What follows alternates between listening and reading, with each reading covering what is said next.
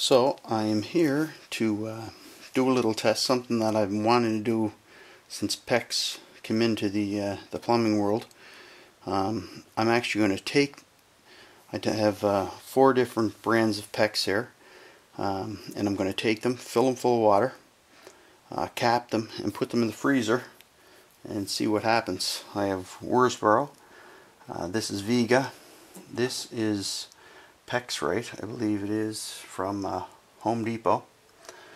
Um, that's Viega, that's a heating line for Viega, and this is Rehau.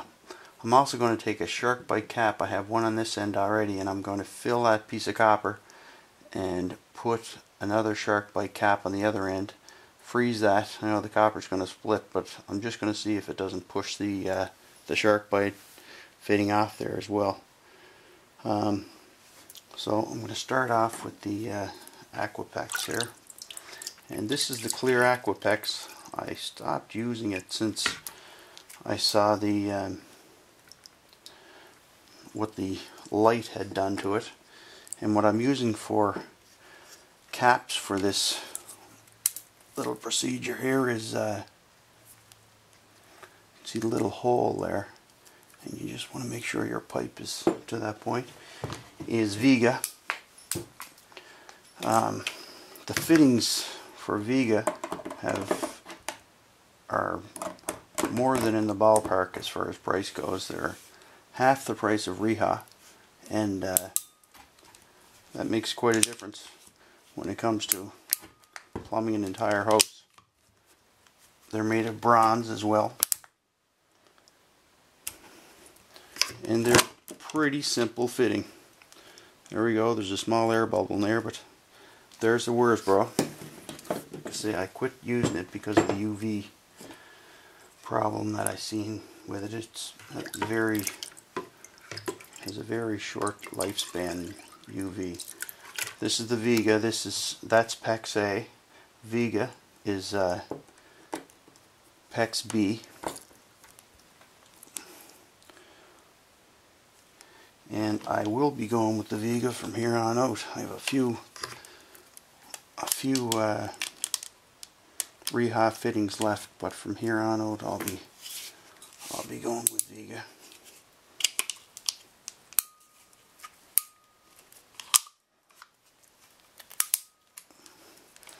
It's a pretty quick system.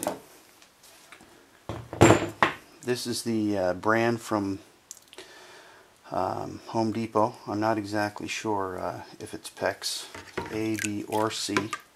I was talking to the guy out there and he, I mentioned to him about the UV thing and he hadn't heard anything about it. So we're going to just do a little test of that one as well.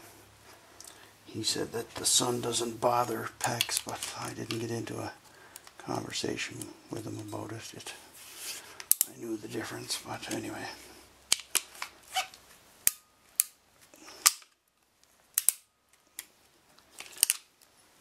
As you can see, that Viega is pretty slick. Doesn't take anything to uh, to put the fittings on.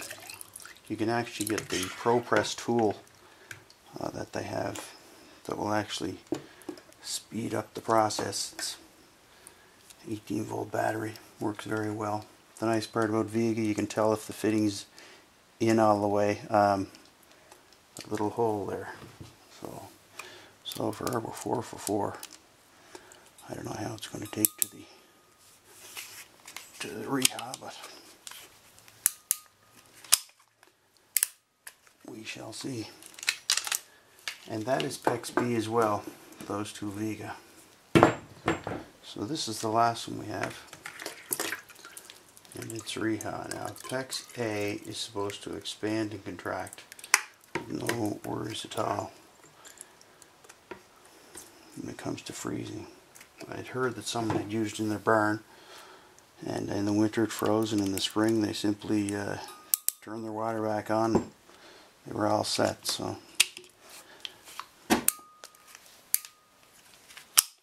We'll actually see if that took place. So there's the two A's. This is a B and I'm not sure what that pipe is from Home Depot what it is So I have a SharkBite fitting on there. Top this up. And I have to say, I can't knock SharkBite, except for the price of them. They're a little expensive. Hopefully I can get this on here. I may have to take a little bit of water out of it.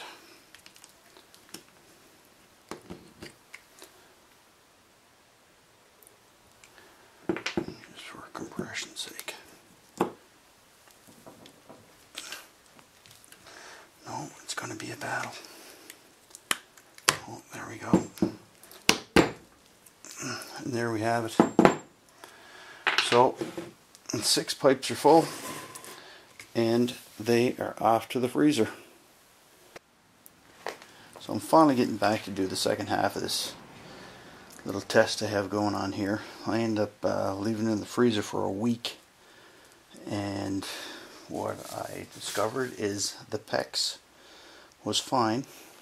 Um, it's actually still frozen. This is the PEX Type B.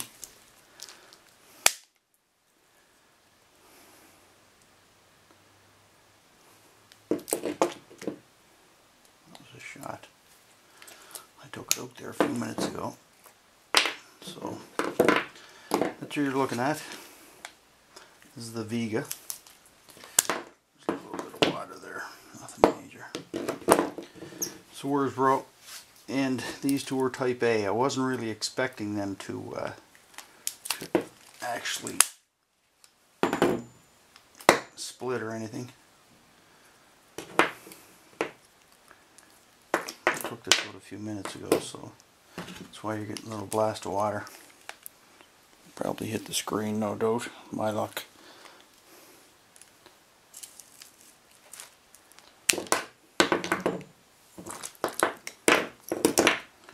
And this is the one from Home Depot. That PEXRite. Works, survived just as well as the others. 17 degrees here today, so take anything out for a few minutes and it's going to uh, it's going to defrost pretty fast. Now, as far as the uh, SharkBite fitting goes, as far as the pipe itself goes, what I did discover is the SharkBite actually pushed off a little bit.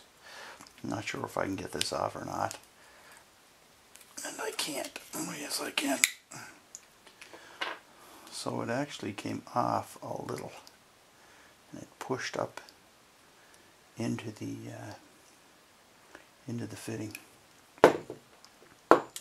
Which isn't life and death. I mean SharkBite are excellent as far as I'm concerned for a quick repair.